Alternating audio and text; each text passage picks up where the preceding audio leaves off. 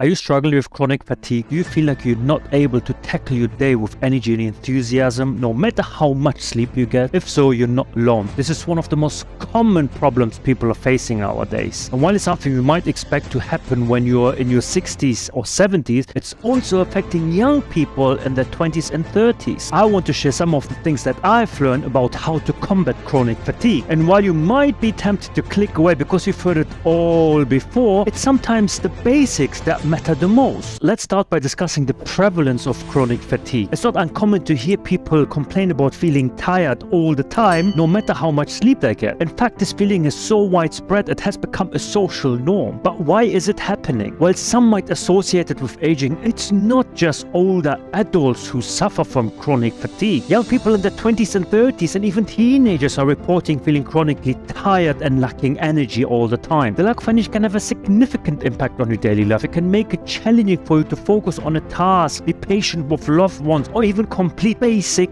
work. Unfortunately, many people fall into the trap to treating sleep, exercise, and diet as a mere checklist and thinking they're doing everything right, but still feeling tired. And this approach leads people to seek for quick fix solutions such as magic pills or other remedies rather than focusing on the basics. However, the truth is that the fundamentals of sleep, exercise, and diets are crucial to combating chronic tiredness. Getting enough quality sleep, eating a balanced diet, and engaging in regular physical activities are all key to boosting your energy levels and feeling more alert throughout the day. I want to share four tips with you that helped me overcome my lack of motivation and energy and help me to improve my overall well-being. Step one is stop misusing caffeine. While many people believe that the effects of caffeine only last a few hours, the truth is that caffeine has a half-life of 5 to 7 hours. That means that if you have a cup of coffee at 4 p.m., there's a good chance that 50% of the caffeine is still in your body and in your systems by 11 p.m. This can seriously inhibit your body's ability to get the deep and restorative sleep that it needs. One thing that I've done to combat this is to stop drinking coffee past noon. Instead of focused on getting my caffeine fix in the morning, this allowed my body enough time to metabolize the caffeine before bedtime. Which brings us to tip number two, which is getting enough sleep. Another important factor to combating chronic tiredness is to get enough quality sleep. While the recommended amount of sleep for an adult is anywhere between 7 to 9 hours, it's important to understand and note that everyone's sleep needs are different. Some people might require more or less sleep than others, and therefore it's important for you to figure out your ideal bedtime by experimenting different bedtimes and wake up times to figure out which one works best for you. Some additional tips here that help me to optimize my bedtime is to keep my room cool and dark and also avoiding screens and stimulating activities just before I go to bed. I also practice relaxation techniques such as meditating or deep breathing was something that helped me a lot which allowed my body to regulate its stress and anxiety levels and just calm down. Coming to number three which is focusing on your diet. This tip is easier said than done but it plays a crucial role on how you feel throughout your day. Eating a balanced diet that includes plenty of fruits, vegetables, whole grains and lean protein can help you maintain constant energy levels throughout the day. And it's important to avoid processed and sugary foods as they can cause energy crashes and leave you feeling sluggish. Additionally, be sure to stay hydrated and drink plenty of water throughout the day. Tip number four, which is my favorite tip for you, is incorporate regular exercise. It goes without saying that exercise boosts your energy levels and motivation throughout the day when you need it, but it also drains your body of the excess energy that keeps you awake at night. Whether it's a morning jog, a yoga class, or weightlifting sessions, find a form of exercise that you enjoy and make it a regular part of your routine. While I would recommend to get at least 150 minutes of moderate intensity exercise or 75 minutes of vigorous intensity exercise at least three times a week under your belt, even 30 minutes daily exercise will have an immense impact on your sleep quality, reduce stress and anxiety, and improve your energy levels. Please remember that a rapid and radical change in your lifestyle is going to demotivate you. Therefore, it's important to make small and sustainable changes in these areas, which will help you to improve your overall well-being. I hope these four tips will help you like they help me. Don't forget to like and subscribe if you enjoyed the video. Also watch my next video on money habits that keep you poor or how to beat the competition and stay ahead of most people. See you there and peace out.